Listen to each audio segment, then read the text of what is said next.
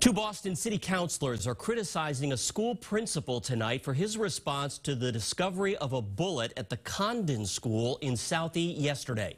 Police say it was a student who found the 45 caliber bullet in a toilet inside the boys' bathroom on Friday morning.